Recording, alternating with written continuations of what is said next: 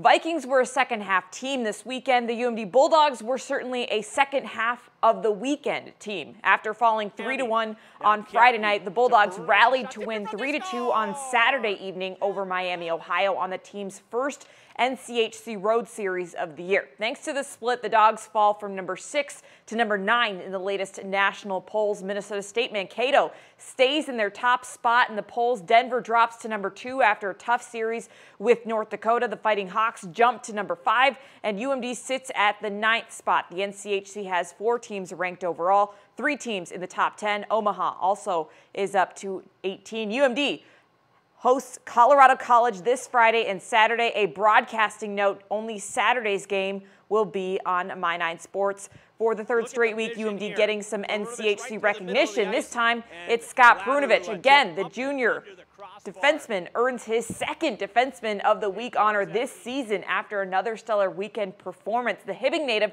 continues to lead the UMD Bulldogs in scoring overall and on the weekend as well, racking up four points courtesy of assists, having a hand in each of UMD's four goals. He also led the Bulldogs in blocked shots in the defense zone with seven. It's Perunovich's eighth NCHC weekly honor of his career.